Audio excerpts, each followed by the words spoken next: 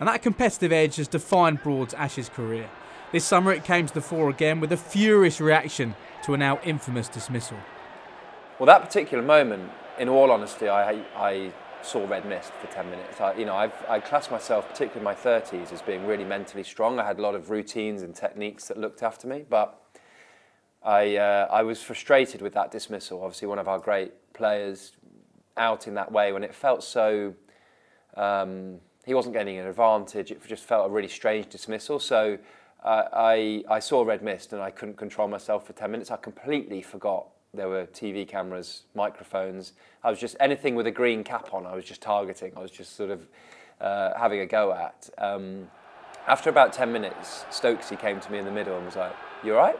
I was like, "Yeah, yeah, I'm, I'm fine. Sorry, I've just got a bit emotional here. You know, the crowd are revving me up." And, and he said, "Okay, what's going to happen here is you don't talk to me." Don't affect what I'm doing, but if I run one, you run one. If I run two, you run two. And if I hit a boundary, just stay at your end and do your thing. I said, okay, cool, yeah, what do you want me to do? He goes, keep going.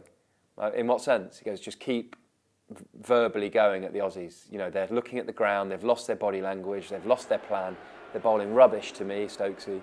So just keep doing what you're doing. So after te- so 10 minutes it was red mist and I was just, you know, petulantly going in, you know, all that sort of thing.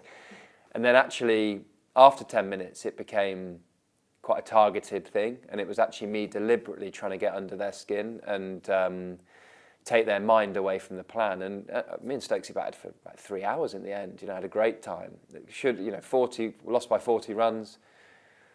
Have got 40 runs? Probably. I think it galvanised us. It galvanised the series. It galvanised our fans, and um, it's what Ashes cricket's about. And it had a bit of edge to it.